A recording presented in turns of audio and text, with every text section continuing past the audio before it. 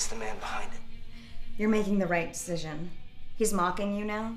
He's the one who decides who lives or dies?